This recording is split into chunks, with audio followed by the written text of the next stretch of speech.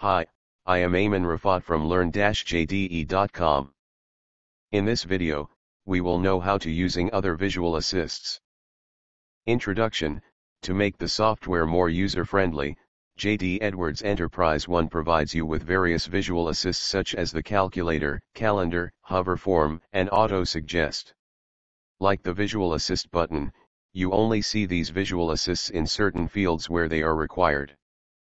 Let's go, navigate to the Speed Invoice Entry Program, P03B11, on the Customer Service Entry menu, G03B11. Click the Fast Path button. Click the Customer Invoice Entry menu.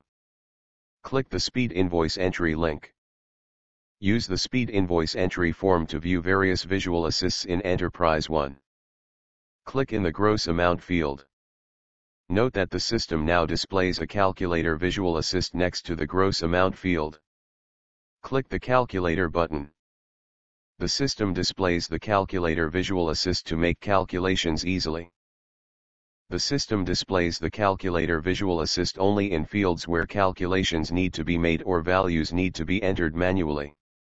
Click outside the calculator to cancel. Click in the invoice date field. The system now displays a calendar visual assist button next to the invoice date field. Click the invoice date button. The system displays the calendar visual assist to enter dates easily. The system displays the calendar visual assist in all the date fields in all Enterprise One applications. Click outside the calendar to cancel. Click the cancel button.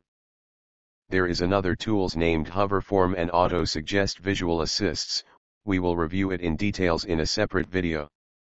We have reviewed various visual assists. Thanks for watching. Goodbye.